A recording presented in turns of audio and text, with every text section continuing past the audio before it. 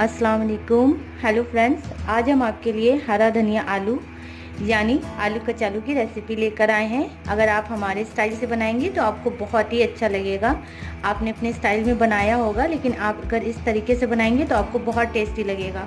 तो चलिए, आज हम आपको बता देते हैं इसे कैसे बनाते हैं। तो देखिए, हमने यहाँ पर पहले से आलू को बॉईल कर लिया है और इसे अच्छे से पील भी कर लिया है। हम यहाँ पर बेबी पोटैटोज यूज़ कर रहे हैं। आप चाहे तो नॉर्मली यूज़ कर सकती हैं। हींग हाफ़ टी स्पून ज़ीरा, अदरक एक छोटा सा टुकड़ा 10 से 12 हरी मिर्च, हरी धनिया और 8 से 10 गार्लिक हमने इसे भी अच्छे से पील कर लिया है और एक नींबू। तो सबसे पहले हम इन सबको अच्छे से मिक्सी में पीस लेंगे। एक चटनी की फॉर्म में हमें पीसना है।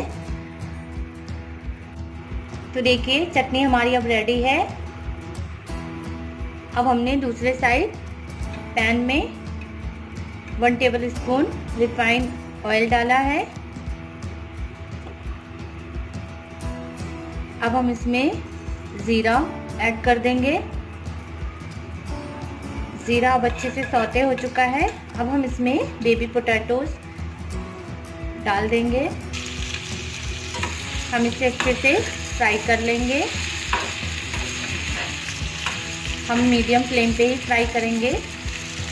एक बार आप इस तरीके से बना के देखिए, बहुत ही मज़ा आएगा आपको खाने में। अब आलू हमारे बहुत अच्छे से फ्राई हो चुके हैं। अब हम इसी स्टेज पे वन पिंच हींग ऐड कर देंगे। हम इसे अच्छे से मिक्स कर लेंगे।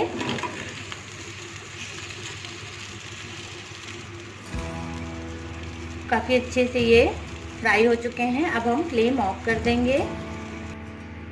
प्लेट में हमने इसे निकाल लिया है।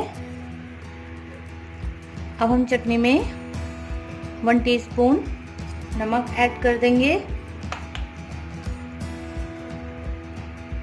और साथ ही नींबू। नमक आप टेस्ट अकॉर्डिंग लीजिएगा। अगर आप नींबू नहीं ऐड करना चाहती हैं तो आप किसी भी खटाई, यानी आमचूर भी यूज़ कर सकती हैं। हमने सारी चटनी में नमक नहीं मिलाया था। हमको थोड़ी ज़्यादा लग रही थी तो हमने थोड़ी निकाल लिया था एक्स्ट्रा चटनी हमारी एकदम रेडी हो चुकी है। अब हम आलू में मिक्स कर देंगे अच्छे से। आप इस तरीके से एक बार बना कर देखिए, आपको बहुत मज़ा आएगा।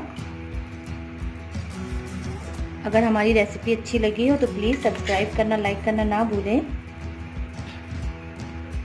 तो लीजिए हमारा आलू का चालू बनकर रेडी है।